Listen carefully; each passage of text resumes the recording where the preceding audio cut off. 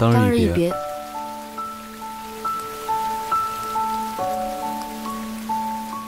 当日自临淄王府一别，已是许久了。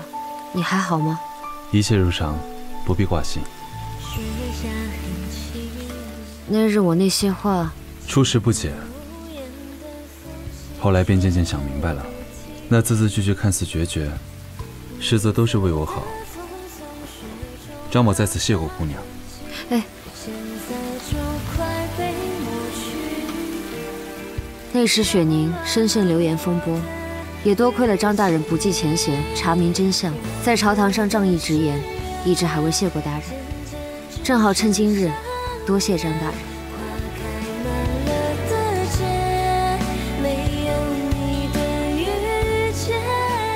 张大人曾说过，最喜关羽，想必今日该是欣喜。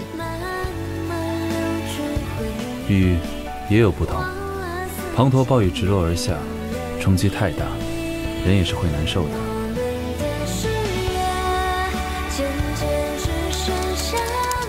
而这种雨，便刚刚好，遇事泛涟漪，行过成点缀。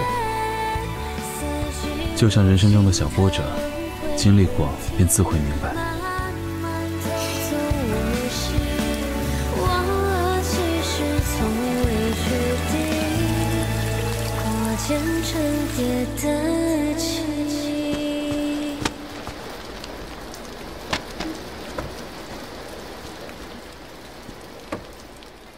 问过他了吗？什么时候来？